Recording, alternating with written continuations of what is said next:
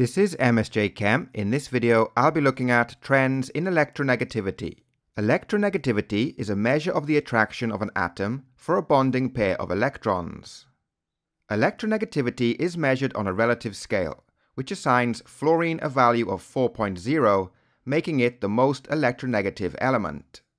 The least electronegative element is francium, which is assigned a value of 0.7. Next, we'll look at the trend in electronegativity across a period.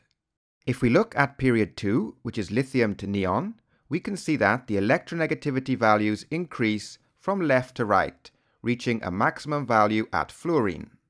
So electronegativity increases across a period because of the increasing nuclear charge. The nuclear charge is the number of protons in the nucleus of an atom, and it increases by 1 as we go from left to right in the periodic table.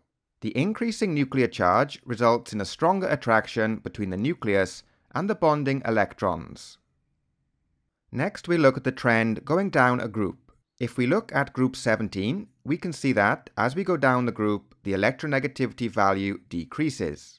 This is because as we go down a group, the number of occupied energy levels increases, which means the atomic radius increases. The bonding electrons are further from the attraction of the nucleus, therefore we see a decrease in electronegativity.